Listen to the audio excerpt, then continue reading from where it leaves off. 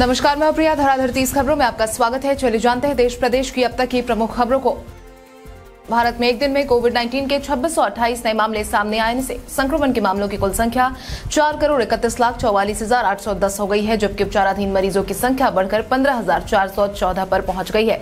केंद्रीय स्वास्थ्य मंत्रालय के बृहस्पतिवार सुबह आठ बजे तक अद्यतन आंकड़ों के अनुसार अठारह और मरीजों के जान गंवाने से मृतकों की संख्या बढ़कर पाँच लाख चौबीस हज़ार पाँच सौ पच्चीस हो गई है। उपचाराधीन मरीजों की संख्या संक्रमण के कुल मामलों का शून्य दशमलव शून्य चार प्रतिशत है, जबकि कोविड नाइन्टीन से स्वस्थ होने की राष्ट्रीय दर अंठानवे दशमलव सात पाँच प्रतिशत है।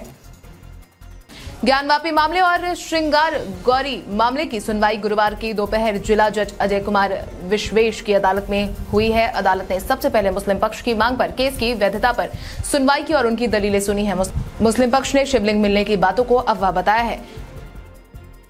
पीएम नरेंद्र मोदी ने तेलंगाना में कार्यक्रम को संबोधित करते हुए गुरुवार को राज्य के सीएम के चंद्रशेखर राव पर जमकर हमला बोला। उन्होंने कहा कि तेलंगाना का आंदोलन इसलिए नहीं चला था कि कोई एक परिवार राज्य के लोगों के सपनों को कुचलता रहे। कोई एक ही परिवार साम दाम दंड भेद का रास्ता अपनाकर तेलंगाना को तबाह करने की साजिश रचता रहे।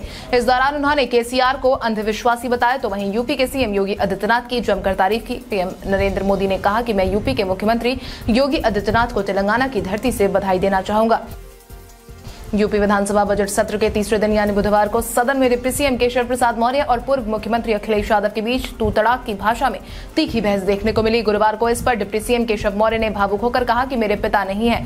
अखिलेश यादव के इस बयान से मैं काफ़ी आहत हूँ। उन्होंने मेरे दिवंगत पिता पर टिप्पणी कर पिछड़ा वर्ग का अपमान किया है।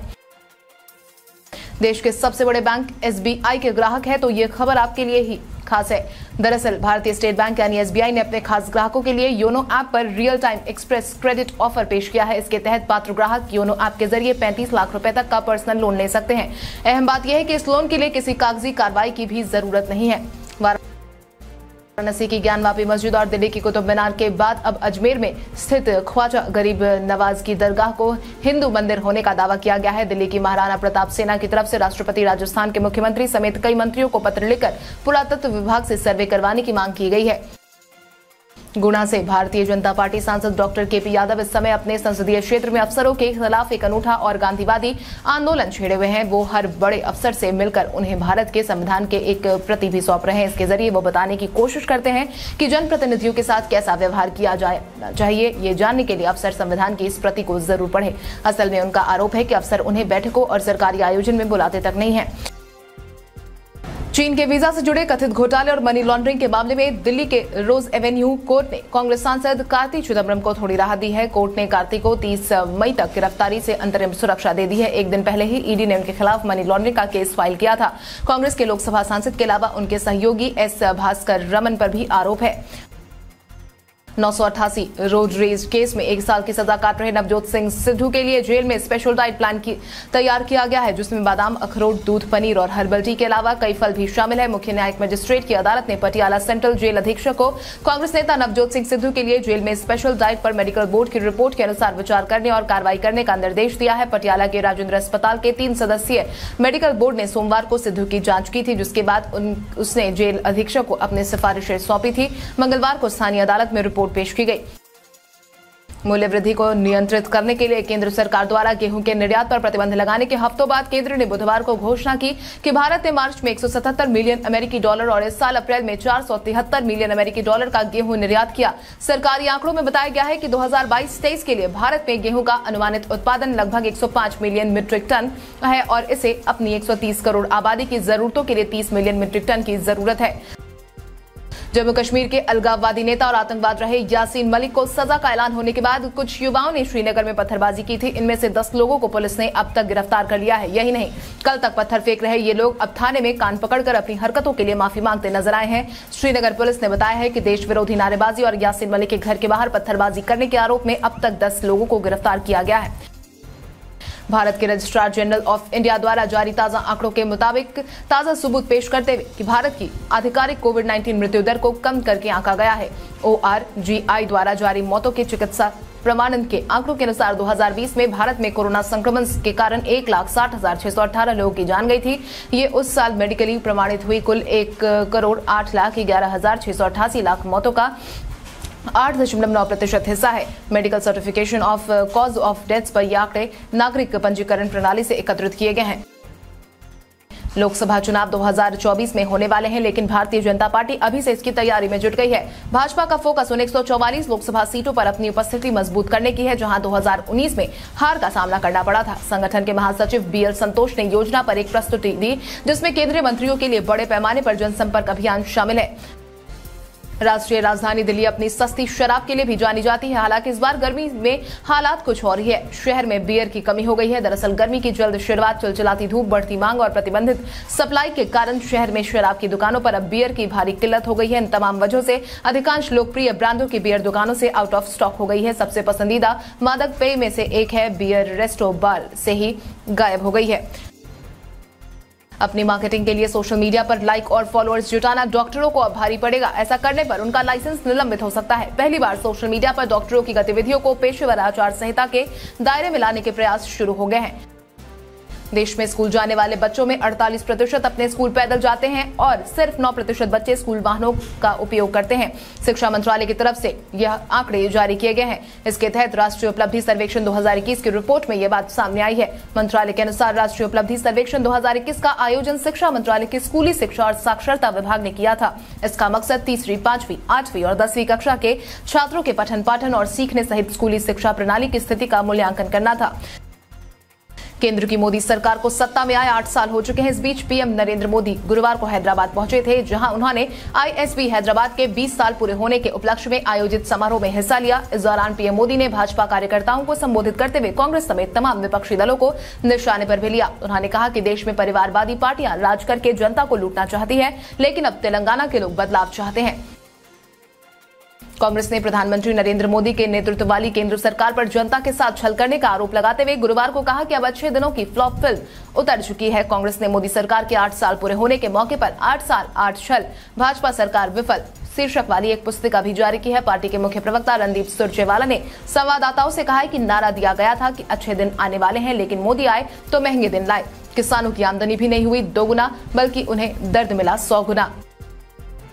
टेक्सास के स्कूल में नरसंहार के बाद कांग्रेस के वरिष्ठ नेता पी चिदम्बरम ने गुरुवार को कहा है कि अमेरिकी कानून बंदूक नियंत्रण पर बहुत उदार है और भारत को भी अग्नियास्त्र के अधिग्रहण पर कब्जे से संबंधित कानून की समीक्षा करने और उन्हें सख्त करने की ज़रूरत है। अमेरिका में सबसे खराब स्कूल गोलीबारी में से एक में से एक अठारह वर्षीय बंदूकधारी ने टेक्सास प्राथमिक विद्यालयों में कक्षा के अंदर उन्नीस बच्चों और दो व्यसकों सहित इक्कीस लोगों की जान ले ली जिससे राष्ट्रपति जो बाइडेन को अपना बयान भी जारी करना पड़ा था। जम्मू कश्मीर में एक बार फिर से टारगेट किलिंग बढ़ गई है। कश्मीरी पंडित इस केंद्र शासित प्रदेश के प्रशासन में सुरक्षा की मांग को लेकर प्रदर्शन कर रहे हैं। इस बीच जम्मू कश्मीर पुलिस ने गुरुवार को दावा किया है कि सुरक्षा बलों ने 2022 में अब तक 50 मुठभेड़ों के तिरासी अलगाववादियों को जान से मार दिया है।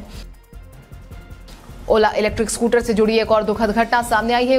उपयोगकर्ता ने दावा किया है कि सवारी करते समय उसके ओला एस वन प्रो का फ्रंट सस्पेंशन टूट गया। माइक्रो ब्लॉगिंग साइट ट्विटर पर श्रीनाथ मेनन ने कंपनी से अनुरोध किया है कि वो स्कूटर को बदल दे। इस शख्स ने ट्वीट अपने टूटे हुए ओला इलेक्ट्रिक स्कूटर की एक तस्वीर को किया है, जिसमें दावा किया गया है कि फ्रंट सस्पेंशन, जो ट्यूब और व्हील को हैंडल बार से जोड़ती है, कम गति से ड्राइविंग के बावजूद टूट गई। टेक दिग्गज माइक्रोसॉफ्ट ने टिम्स और माइक्रोसॉफ्ट तीन के लिए सहयोगी ऐप बनाने वाले डेवलपर्स के लिए कई फीचर्स की घोषणा की है।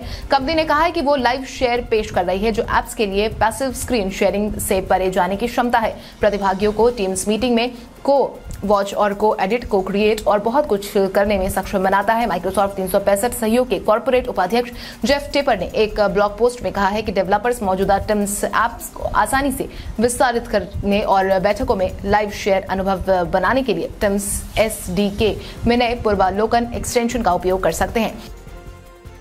ताजमहल परिसर में स्थित शाही मस्जिद में नमाज़ पढ़ने वाले चार पर्यटकों को पुलिस ने गिरफ़्तार किया है। इनमें से तीन पर्यटक हैदराबाद के रहने वाले हैं और एक युवक यूपी के आजमगढ़ का रहने वाला है। ये चारों पर्यटक बुधवार को ताज का दीदार करने पहुँचे थे। सीआईएसएफ ने पर्यटकों को ताजगंज थाना पुलिस के सुपुर्द कर दिया है। पुलिस एफआईआर दर्ज कर चारों को कोर्ट में पेश करेगी, जहाँ से आगे की कार्रवाई होगी।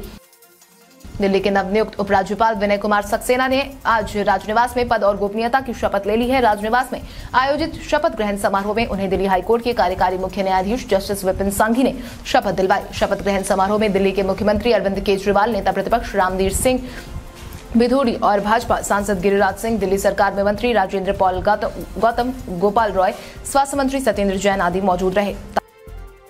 तालिबान अंतर्राष्ट्रीय जाँच से बचने के लिए अफ़गानिस्तान में नशीले पदार्थों के उत्पादन को रोकने का नाटक किया जा रहा है, बल्कि सच्चाई यह है कि वह इसी के माध्यम से अपने ऑपरेशन के लिए धन इकट्ठा करता है। कनाडा स्थित एक think tank International Forum for Rights and Securities ने इसका खुलासा किया है। चैंपियन बॉक्सर विजेंद्र सिंह अब शहर में बॉक्सिंग एकेडमी खोलने की तैयारी कर रहे हैं। इस संबंध में बुधवार को विजेंद्र सिंह जयपुर विकास प्राधिकरण के मुख्यालय पहुँचे थे। उन्होंने जेडीसी के सामने जगतपुरा के निलय कुंज योजना में बॉक्सिंग एकेडमी के लिए जगह देने की इच्छा ज़ाहिर की है, जिसके बाद जेडीसी ने अतिरिक्त आयुक्त एलपीसी को निलय कुंज योजना या फिर अन्यत्र स्थान पर भूमि आवंटन के विकल्प तलाशने की ज़िम्मेदारी सौंपी है। उपयोगकर्ताओं के डेटा की गोपनीयता की रक्षा करने में विफल रहने के कारण ही ट्विटर 150 मिलियन डॉलर का जुर्माना अदा करेगा। यह जुर्माना 2022 की पहली तिमाही में ट्विटर के राजस्व का लगभग 13 प्रतिशत जुर्माना है। साथ ही ट्विटर संघीय नियामकों के आरोप को निपटाने के लिए नए सुरक्षा उपाय करेगा। सोशल प्लेटफॉर्म पर आरोप है कि छह साल की अवधि में वो उपयोगकर्ताओं के डेटा की गोपनीयता की रक्षा करने में विफल रहा है। न्याय विभाग और संघीय व्यापार आयोग ने बुधवार को ट्विटर के साथ समझौते की घोषणा की है। बिजली मंत्रालय ने कहा है कि वो वितरण कंपनी यानी कि डिस्कॉम के ऊपर विद्युत उत्पादन कंपनी जेनेको के बकाये के भुगतान को लेकर एक नई योजना पर काम कर रहा है इसे देरी से भुगतान करने के कारण लगने वाले उन्नीस करोड़ रूपए के अधिभार की बचत का अनुमान है। मंत्रालय ने एक बयान में कहा है कि बिजली वितरण कंपनियों के बकाया राशि के भुगतान करने में असमर्थता विद्युत क्षेत्र की पूरी श्रृंखला को प्रभावित कर रही है। यूक्रेन युद्ध के साथ तेज़ी से बदल रहे वैश्विक घटनाक्रम के चलते अर्थव्यवस्था पर तगड़ी चोट पड़ रही है। विश्व बैंक के प्रमुख डेविस मालपास ने वैश्विक मंदी की आशंका जताई है। समाचार एजेंसी आईएएनएस की रिपोर्ट के मुताबिक उन्होंने चेतावनी दी है कि यूक्रेन पर रूस के हमले से वैश्विक मंदी का खतरा मंडरा रहा है, क्योंकि खाद्य ऊर्जा और उर्वरक की कीमतों में उछाल है। मूडीज इन्वेस्टर्स सर्विस ने गुरुवार को हाई इन्फ्लेशन का हवाला देते हुए 2022 के लिए भारत के आर्थिक विकास के अनुमान को पहले के 9.1 प्रतिशत से घटाकर 8.8 प्रतिशत कर दिया है। ग्लोबल मैक्रो आउटलुक 2022-23 के अपने अपडेट में मूडीज ने कहा है कि हाई फ्रीक्वेंसी डेटा बताता है कि दिसंबर तिमाही 2021 से विकास की गति इस साल पहले चार महीने में जारी रही है।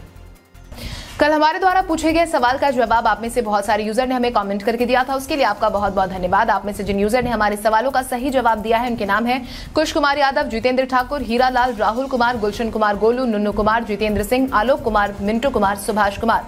आप इसी तरह हमारे सवालों का जवाब देते रहे। हम हर दिन वीडियो के अंत में आपका नाम लेने की पूरी कोशिश करेंगे। तो चले बढ़ते हैं हम आज के सवाल की और आज का सवाल कुछ इस प्रकार है। आपके अनुसार राजस्थान और बैंगलोर के बीच में खेले जाने वाले क्वालिफायर में कौन सी टीम फाइनल में जाने में कामयाब होगी? अपने जवाब में कमेंट करके ज़रूर बताएँ। इसके साथ ही आज के लिए बस इतना ही। देश प्रदेश की तमाम बड़ी खबरों से जुड़े रहने के लिए हमारे यूट्यूब चैनल को सब्सक्राइब करें और बेलाइकॉन दबाना ना भूलें। धन्यवाद।